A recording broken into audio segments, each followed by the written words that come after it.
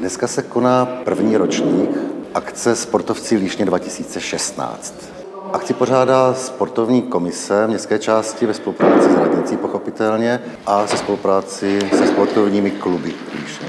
Napříč Líšní je spousta sportovních klubů a oddílů, které působí trošičku jako uzavřená komunita a neví navzájem o sobě a neví o nich ani široká veřejnost. A účelem této akce je, aby se seznámili navzájem sportovci a aby se svými úspěchy seznámili i veřejnost. Dnes budeme oceňovat nejúspěšnější sportovce jednotlivých klubů, případně osoby, které se zasloužily o bezchybný, bezvadný chod jejich činnosti. Tady z těchto odrazových bloků eh, přichází takové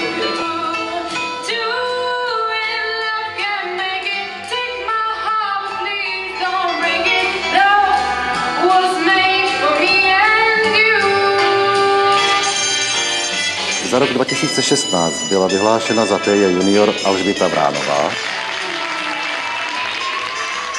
za judokata Brno Martin Dlouhý, SK Líšeň nominovalo pana Josefa Učce,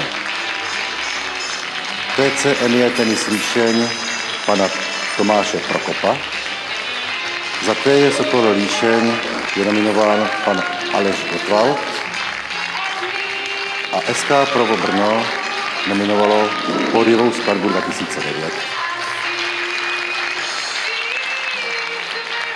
Tenisový klub Líšeň nominoval pana Lubomíra Trojčáka.